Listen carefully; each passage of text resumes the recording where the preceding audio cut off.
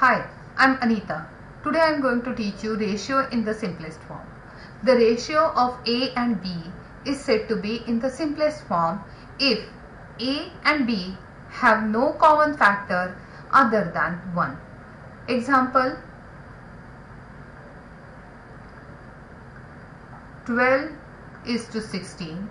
We can write 12 is to 16 as 12 over 16 now 12 and 16 they have a common factor 4 so I'll divide both the numbers by 4 so we'll get 3 over 4 so the ratio 3 is to 4 is the simplest form of 12 is to 16.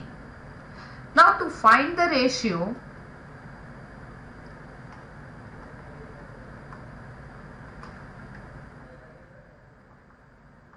the two quantities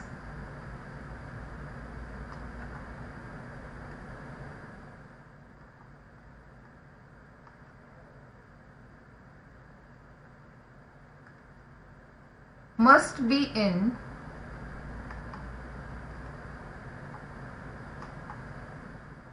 in the same unit.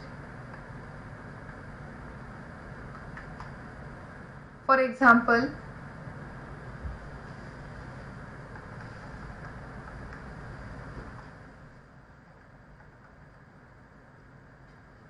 a dozen to score. Now, one dozen is equal to 12 and one score is equal to 20. So, the ratio of dozen to score is equal to 12 is to 20. Now we can write this in the form of a fraction as 12 over 20. Both the numbers are divisible by 4.